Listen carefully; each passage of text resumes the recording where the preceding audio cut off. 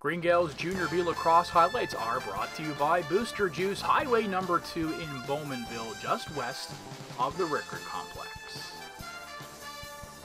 A tall order for the Green Gaels needing to win three in a row to advance in the postseason.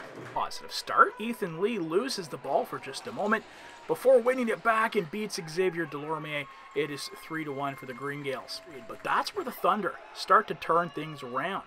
Both teams taking some penalty problems, and then it's three on three.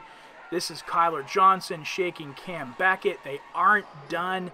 Tryson Sunday gets free during four on four. A delay from the officials, but there is the call on the floor. It's a tie game. Akwesasne hitting for three goals in just over a minute. Into the second period now. Trailing, the Green Gaels call for an illegal equipment check on Delormier, and they're successful Enter Sakarn Hayotani Thompson to face a five minute major. He passes the test. Thompson bombs a pass for Stone Chubb.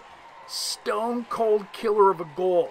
Shorthanded while fighting a major penalty. But the Green Gaels fight back. Luke Thompson, Robinson rather, to Carson Christie. Another well placed shot for the sharpshooter.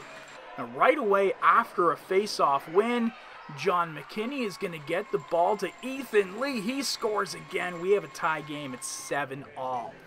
Third period now, the Green Gaels go to the well again and call for another illegal equipment check. This time, Thunder goalie is good to go, so the Green Gaels, who are already looking at a slashing penalty, they're hit with a delay of game as well. That's going to fire up the Thunder bench. They have a 5 on 3, but the Green Gales kill that off.